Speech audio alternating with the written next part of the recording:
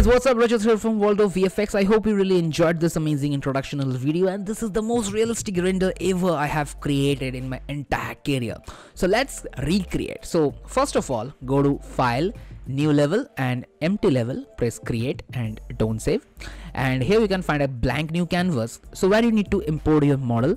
So I have already downloaded the model from Sketchfab. So just simply go to the model pack and uh, add the static mesh and you can find your models. You can anything like drag and drop and it will automatically import within glb format. And i already shown before like how you can import glb format with textures. You can really use that. So here i'm just drag and drop this. So you can find this model. And let's increase the shape just like this so it's increased and you can see this model is looking up like this only. Now we need to add the environment. So for environment we are using the hdri backdrop. So hdri and you can find this hdri backdrop. Simply drag and drop and you can find this hdri backdrop just like this. Now you need to import the hdri image to project this on the background. So again i have downloaded few. So simply close the static mesh and you can find this HDRI. Now if you import any EXR file, it will not work. Let me show you. So this is a EXR file and if you really want to use this file is in HDRI, simply select this, drag and drop, it can show a red error. So basically you have to convert this EXR file into HDRI. Now to convert I'm using this converter, it will convert the EXR file into HDRI, simply convert and download and import into uh, you know Unreal Engine and also for uh, the HDRIs I'm using this production create uh, HDRI packs. These are completely free and amazing amazing quality. Alright after importing your HDRI simply drag and drop this into here. And you can find this like this. Just need to go here and you just need to change the projection method. Simply click and type sky and then sky sphere and it will comes like this. And you can see the entire sky under this. Press G on your keyboard so that you can see entire sky under this. Now increase the size so let's make it to 800 and now if you notice it start hitting the light on the model. Now I'll have some changes. I'll just uh, add some projection center because it will rotate on left and right. If you select this you can rotate this in left and right not in this direction. This is a issue. I don't think this is a good idea. So first of all I just into change this to let's say around 9000 press enter and let's make it to 5000 and enter. And now you can see the lights are hitting on this model. Now the intensity is too high. Let's decrease it to 0.8 and there is no direct sunlight over here. If you notice there is no direct sunlight. So what i'll do i'll just add a directional light. So go to light and uh, directional light. Automatically once you create you can see now it's looking more real isn't it now there is all the camera angle camera tricks basically.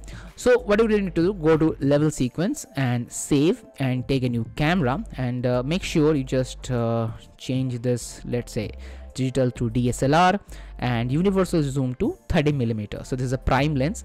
Now to make this a cinematic style you just need to make a crop. So what we need to do? Go to this crop sensor and make it to 2.39 and now it can look like this is a you know cinematic cropped.